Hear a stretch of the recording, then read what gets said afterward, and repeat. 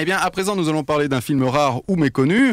C'est Le Kiki la vue de Gilles. Le kiki de Gilles. Exactement. Donc aujourd'hui, je vous parler d'une femme très très très amoureuse. C'est un film de Ariel Zetoun.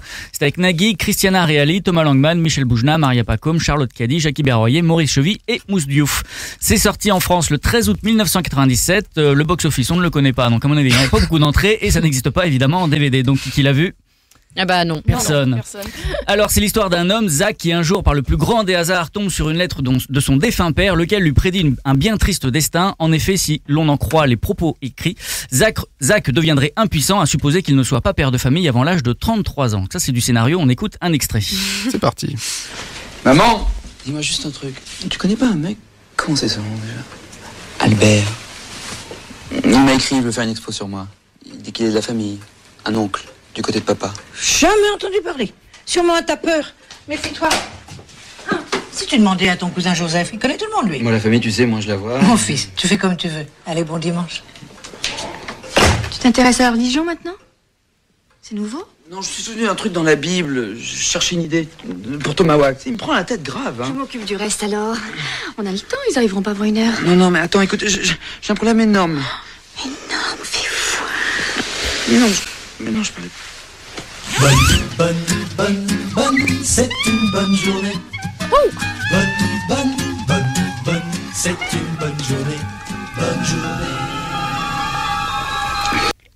Tout le monde veut prendre sa place, rien n'est moins sûr. La découverte de ce long métrage bricolé par Ariel Zetoun, à qui l'on doit également le nombril du monde, XXL, Bimboland, Yamakasi, le dernier gang, au cours des années 90 et début 2000.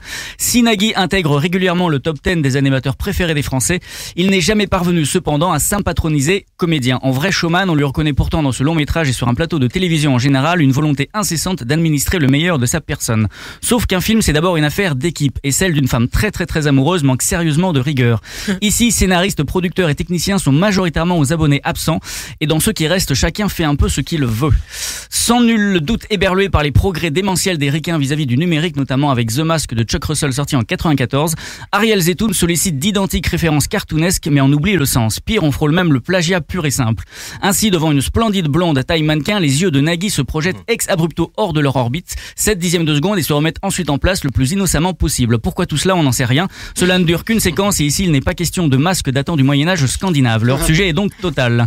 Conjointement, Michel Boujna, malhabilement grimé en diablotin, n'aide pas à relever le niveau et perdu pour perdu, en fait des caisses, tandis que l'on aperçoit le jeune Thomas Langman fantasmant encore sur le métier d'acteur. Bref, tout le casting, Nagui compris, se régale et Ariel Zetoun bâcle le tout à la caméra comme au montage. Il hallucinatoire, embrouillé et complètement idiot. Certes, en attendant, une femme très très très amoureuse intrigue.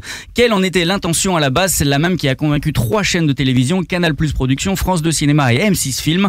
En y réfléchissant, il serait probablement judicieux, voire instructif d'étudier l'objet du délit en école professionnelle ou ailleurs, plus qu'un cas, un antécédent à ne réitérer sous aucun prétexte et que l'on de- peut de- et que l'on ne peut donc se permettre d'oublier, pardon. Rien que pour cela, donc, une femme très très amoureuse est à voir absolument.